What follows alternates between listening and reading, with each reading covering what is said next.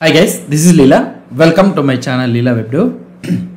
In this video, we will try to learn about the lazy loading of the component or the routing page. So let us try to break down the lazy loading of the standalone components in the Angular 18 step by step. Let's first to understand the core idea of this one. So I will open the Notepad++. plus So here the core idea of this one is the lazy loading, the first one here let me open this one. Yeah. So hopefully you are able to see. The lazy loading the first one is the lazy loading is a technique that delays the loading of a module or a component until it is required. This improves initial load time by not loading all features of an application at once. And the next one is the standalone components. So how we can do it in the standalone components? Standalone components in angular 18 can be loaded lazily like just like the modules were loaded in the past with the introduction of the standalone components, Angular now supports lazy loading individual components which simplifies the architecture of the application. Let's try to see the uh, working example of this one, how we can configure the lazy loading.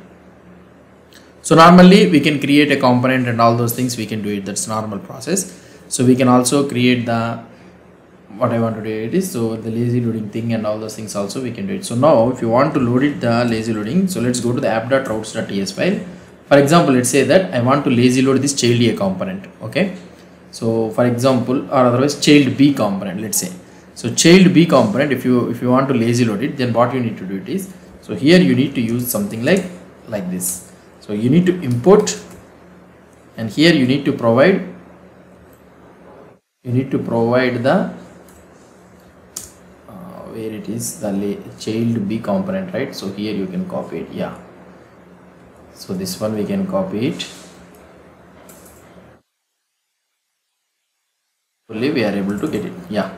So child b component. Then what we need to do so we will get it dot then dot then. So we will load we'll get the component and we need to load this component. C dot child b component that's it so this is how we will be loading the and here we should not use the component.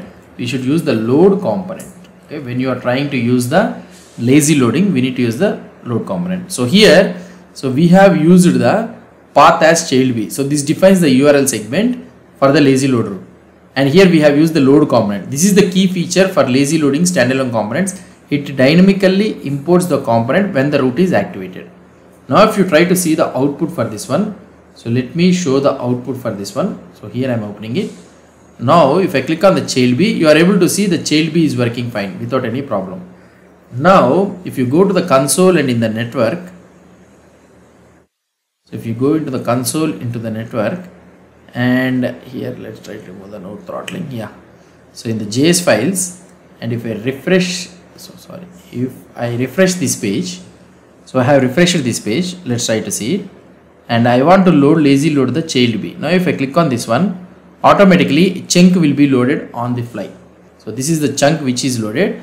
So that means here we are loading the, here loading the dynamically this thing. So this is how we will be loading the lazy load component. So that means whenever that page is activated. Now when, when you go back to the child A and when you go back to the, come to the child B, so you will be able to see child B work then again the JS will not be loaded. Why? Because already the JS has been loaded previously. Now if you try to see here I will try to show you. When I refresh this page so I will remove all the JS files these all extensions and all the things. Now when I click on the child B you will be able to see a chunk has been loaded. 304 means already it is there in the cache. Now when I click on child again and when, when I come back to the child B so again this chunk will not be loaded reloaded again. Why? Because already this JS has been loaded so that is why this is not loading. So this is how the lazy load will be implemented in the implement, implement implemented in the angular 18 so we also have an another thing that is nothing but preloading of the lazy load components. So while lazy loading reduces the initial load time it can lead to a delay when accessing the lazy load route for the first time. So this one is actually it is a small 18145 bytes. So fine. So this one is taking very less time to load it. But if you are having a chunk which is so more means it will take some time to load for the first time so that it will cause some delay for loading the component. So in order to decrease this one, Angular allows preloading the lazy components. Add a preloading strategy. So we need to add a preloading strategy. So where we need to add it is, so let's go to the app.config.ts file. In this one, we need to provide here in these routes we need to provide preloading strategy preloading where is this one sorry. In the provide router so we need to use preload strategy. So why it is not coming?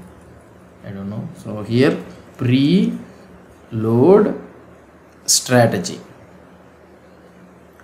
Preload strategy. And here we need to use something like preload all modules. That's it. So now strategy. Okay preloading strategy. It should be something like preloading strategy. Sorry. So we need to provide it like this. So it is not showing why it is a problem. So preloading thing is not working. I will try to check in the next video. So leave it for this one. So this is how we will be loading the lazy loading the components thing. So the now the next one which i want to uh, tell you is so the lazy loading thing you understood what about the dynamic component loading? So you may be understanding that uh, the dynamic component loading and also the lazy component loading is one and the same but it is not the same. So for example let's say that you are having the app component.ts file. So just i want to load in the app component.ts file the second component. Let's say that second component. That means second component i want to load it. So i will be trying to use the second component here uh, like comma second component. So i will be loading it like this now if i want to use this component in our app component.html means automatically we will go here and we will be using the app hyphen second. So we have used it like this.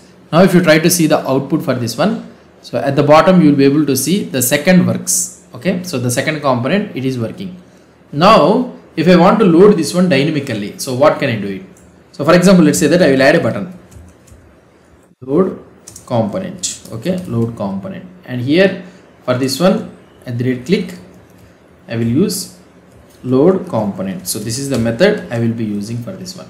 And in our app.component.ts file I will use this method load sorry load component. So this is the method which, which I will be trying to use it. And here in our app component.html file so we need to select the placeholder. So I will be using ng template and here I can use something like hash dynamic container. So this is the dynamic container where I want to place it. So I have used it in the ng template. So now we need to capture it using the view child here. So I will be capturing using at the rate view child. And here I can use something like the dynamic container sorry dynamic container which is the thing. And here we need to read this one as a view container ref view container ref. And if you want to make it as a static true that means it should be available in the ngOnInit only. So we can use it like this.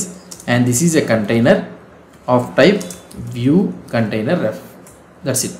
So we have captured the container ref. Now what i want to do so first of all i made i need to make the container clear. And i need to create a container uh, component in that container. Container dot create component. Sorry. Create component in that one. And i can send the second component directly. So we should make sure that that second component should be imported here.